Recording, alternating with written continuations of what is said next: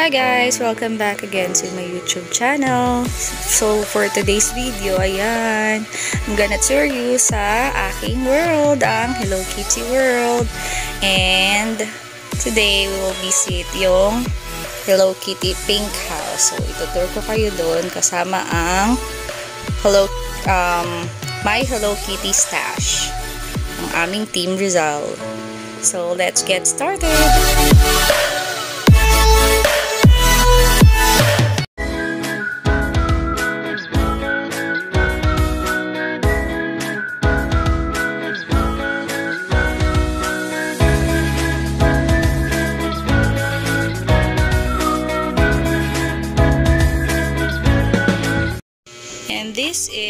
The Hello Kitty Team Rizal.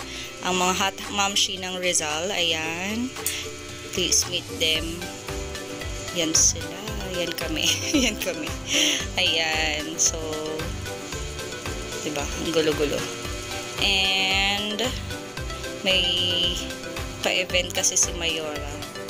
So, may meet and greet ulit. This is actually the second um, meet and greet na. So, medyo onti nga lang yung nakapunta. Wala yung area ng Montalban and Rodriguez Rizal kasi medyo malayo sa kanilang area. But yan nagawa pa rin maka-attend ng mga iba. Marami pa rin. And as you can see may pa-sponsor pa ng t-shirt. Thank you sa aming awesome team sa mga mababait na sponsor. Ayan. T-shirt, may pa-raffle. Eh, pati may mga kids, mga chikiting extra din. Ayan, tour ko kayo sa ang bahay. This is yung um, first floor. Yan yung parang storage ni Madam Carol. And this uh, this place is located sa Teresa Rizal sa Carissa. Ayan siya, yung first floor, napakaraming mga collections. Ayan, paikot sa buong room. Then, ito yung second floor. Ayan yung pinakalabas sa daanan going. Ayan, you can see mga paintings. Ang ganda. Yung sobrang ganda. Gusto ko rin ng ganyan. Ayun, this is yung room sa second floor. Ayan siya. Wow. From mga headbands, mga tote bags. Tapos meron pang ayun, yung mga marites. Joke lang. Yung mga aking katim. Then, yan o, you can see TV, yung TV, ano niya. Then yung bed, yan, paikot sila. Ayan siya. O, diba, ang ganda. Then yung port ng aircon, pati yung sa bed. Bed frame niya, yung framing, then yung sa wall.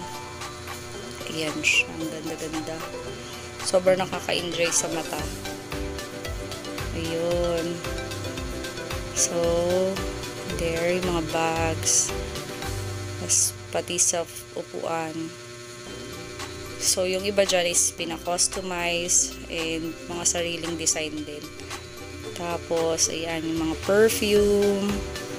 Ano to? Mga cologne. Ganun. Yan, mga storage. So, iba-ibang color. Meron dyan yung collection of red, pink, pero mostly, puro Hello Kitty talaga siya.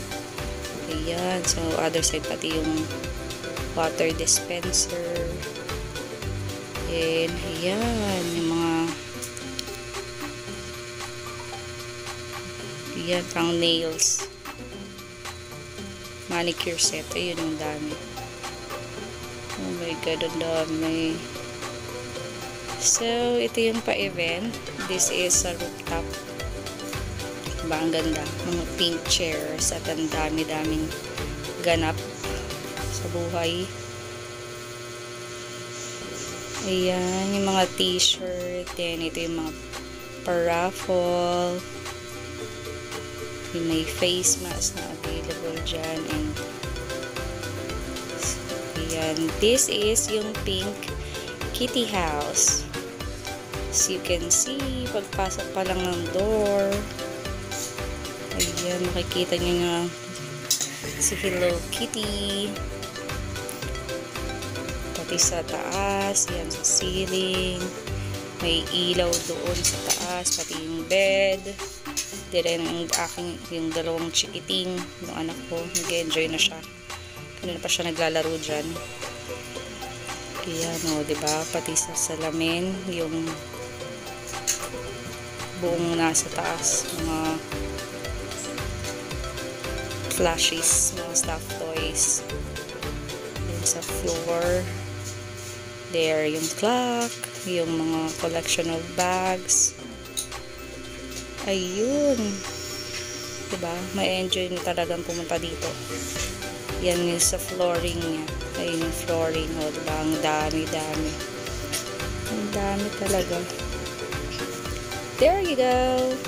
So, ayan na ang quick tour natin dito sa bahay na Kitty Pink House ni Miss Carol dito sa Teresa Rizal. So, ayan. You can actually also visit her. Open naman siya for mga mag-visit if ever. Siyempre, inform lang din. And, yun na siya. Diba? Ang ganda. Ako nga rin nalulula sa pagtingin dito sa mga Hello Kitty na to. Ayan. This is some other clips, photo clips ng at ating ganap sa aming second meet and greet. So, don't forget to subscribe kung hindi ka pa nakasubscribe. And please do like and share and do comment down below kung ano pa yung mga gusto nyong upload sa ating channel. And again, sana na-enjoy niyo ang video na to. Just a quick tour sa Hello Kitty Pink House. Thank you so much guys for watching. Have a nice one.